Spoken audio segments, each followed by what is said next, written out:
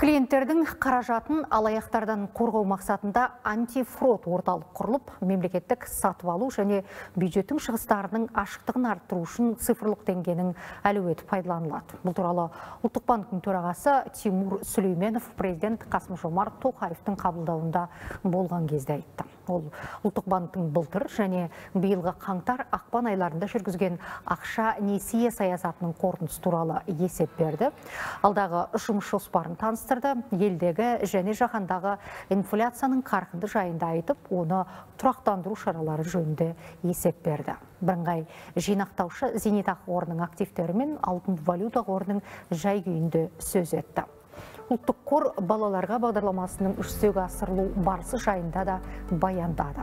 Ұлттық төлем жүйесін дамытуға ашық банкинг қағидаттарын енгізуге бағытталған жобаларды да тілге тиек етті. Өз кезегінде мемлекет басшысы ұлттық банк қызметінің негізгі бағыттарына қатысты бірқатар міндет жүктеді.